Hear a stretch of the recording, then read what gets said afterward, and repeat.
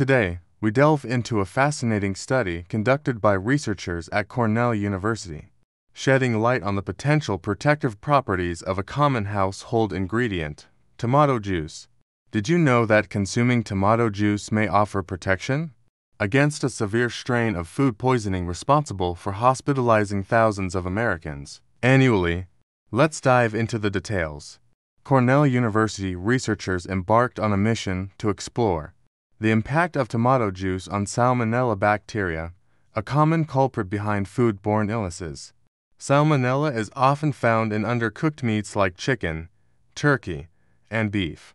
With approximately 1 in 25 packages of chicken in grocery stores harboring this harmful bacteria.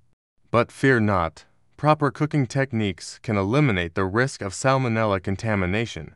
The researchers focused on antimicrobial peptides found in tomato juice proteins that disrupt the membranes of harmful organisms.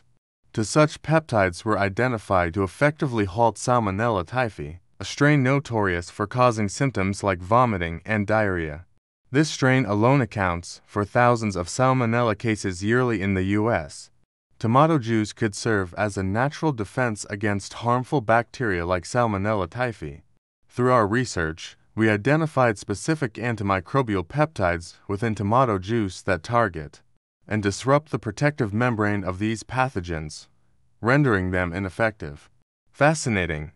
So, what implications do these findings have for public health, especially in combating salmonella infections? The implications are significant. By understanding how tomato juice can inhibit the growth of salmonella, we can potentially reduce the prevalence of food-borne illnesses. This is particularly important for vulnerable populations, such as individuals with weakened immune systems, who are at higher risk of experiencing severe complications from salmonella infections. There you have it, folks. The potential benefits of consuming tomatoes and other fruits and vegetables extend beyond just their nutritional value they could play a crucial role in mitigating the risk of salmonella infections, ultimately leading to healthier communities. As we wrap up today's episode, we encourage you to incorporate tomatoes and other fresh produce into your diet to reap their protective benefits. Remember, a healthy lifestyle starts with the food choices we make. Thank you for joining us today. Don't forget to like, share, and subscribe for more fascinating insights from the world of health. Until next time, stay curious.